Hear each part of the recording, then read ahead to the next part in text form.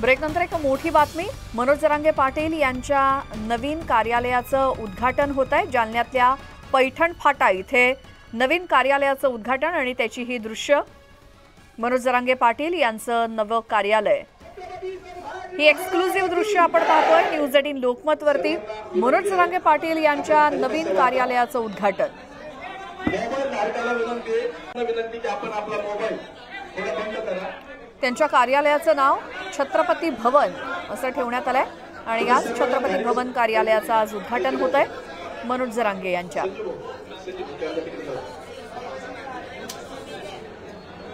सर्व समाज बांधवांना विनंती इकडं तिकडं बाहेर जे उभं आहे त्यांनी सगळ्यांनी खाली बसा. कारण आतापर्यंतचा आदरणीय संघर्ष होता मनोजदादा जरांगे पाटील यांचा इतिहास असा आहे.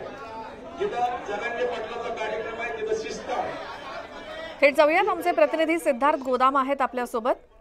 जालन्यामध्ये पैठण फाटा इथे आज उद्घाटन होत आहे. मनोज जरांगेंच्या कार्यालयाचं कसं आहे हे कार्यालय? कसं सुरू आहे उद्घाटन?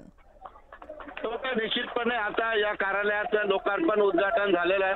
शिवाजी महाराज महंत यांच्या हस्ते आणि नारायणगडाचे महंत सगळे या ठिकाणी आहेत. स्वतः मनोज जरांगे पाटील यांच्या हस्ते उद्घाटन झालेलं आहे. निश्चितपणे या कार्यालयाला नाव छत्रपती भवन देण्यात आलेलं आहे. कारण अठरा पगड जातीच्या लोकांसाठी हे कार्यालय असेल फक्त मराठा समाजासाठी नाही. अशा पद्धतीची कन्सेप्ट या ठिकाणी आपण बघतोय. मनोज जरांगे पाटील महंत आणि इतर मान्यवर लोक या ठिकाणी आलेले आहेत.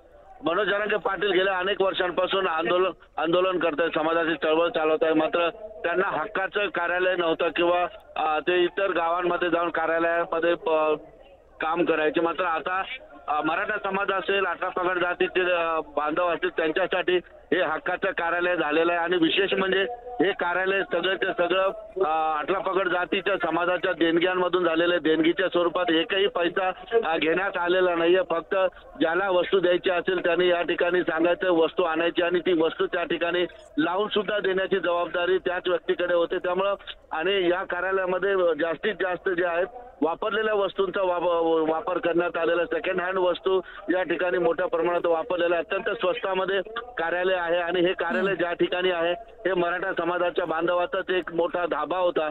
त्या समाजाच्या व्यक्तीने ही जागा जी आहे छत्रपती भवनसाठी देण्यात आलेली त्याला दहा हजार रुपयाचं भाडं सुद्धा ठरवण्यात आलेलं आहे. कारण मनोज जरांगे पाटील यांना ते व्यक्ती फुकट द्यायला तयार होते पण ते म्हटले फुकट नको.